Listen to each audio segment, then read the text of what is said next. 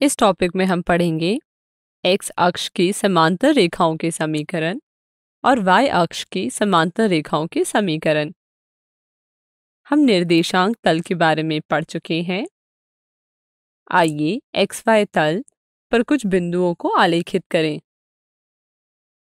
मान लीजिए बिंदु A minus two comma three B zero comma three और सी थ्री कॉमा थ्री है। आइए इन बिंदुओं को ग्राफ पर प्लॉट करते हैं।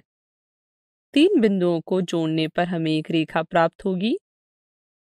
क्या आपको इन तीनों बिंदुओं में कोई समानता दिख रही है? यहाँ तीनों बिंदु एक ही रेखा पर है। आइए आगे देखते हैं। आपने क्या देखा? जी हाँ ये तीनों बिंदु एक्स अक्ष से समान दूरी पर है।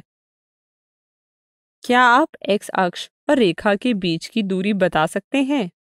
यहाँ सभी बिंदुओं का y समन्वय बराबर है जो कि तीन है। इससे हम क्या निष्कर्ष निकाल सकते हैं? अतः रेखा का समीकरण y बराबर तीन है। अतः y बराबर n रूप की कोई भी रेखा x अक्ष के समांतर होती है।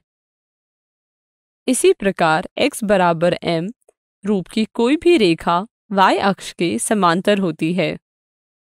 y बराबर n रूप की कोई भी रेखा x अक्ष के समांतर होती है और दूसरा पॉइंट है x बराबर m रूप की कोई भी रेखा y अक्ष के समांतर होती है।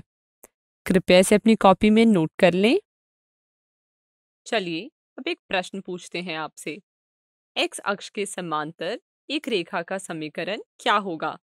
क्या आप इस प्रश्न का जवाब दे सकते हैं? चलिए, अब इसका उत्तर देखते हैं।